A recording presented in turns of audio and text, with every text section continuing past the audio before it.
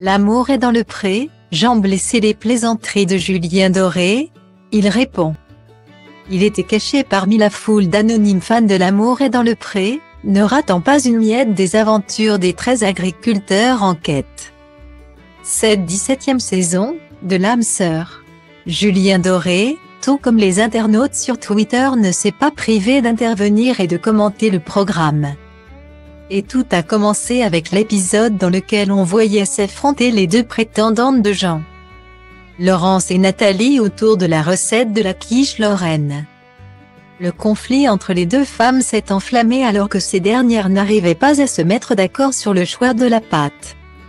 Brisé, feuilleté, Julien Doré s'est empressé d'organiser un vote sur les réseaux sociaux. Point. Et le chanteur ne s'est pas arrêté en aussi bon chemin chaque semaine sur Twitter.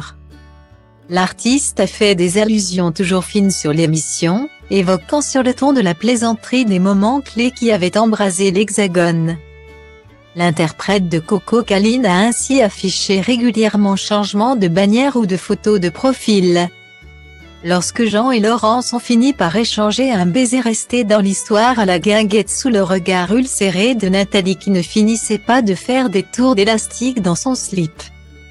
Julien Doréa, lui aussi, commenté la séquence proposée par M6, à sa façon.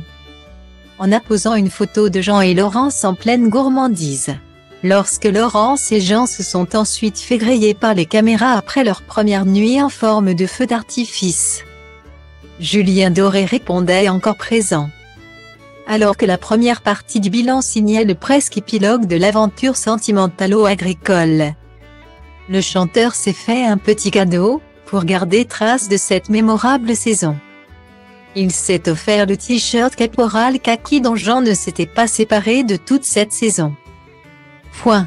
De quoi agacer le pourtant placide agriculteur, ce dernier a évoqué les plaisanteries du chanteur dans Le Parisien.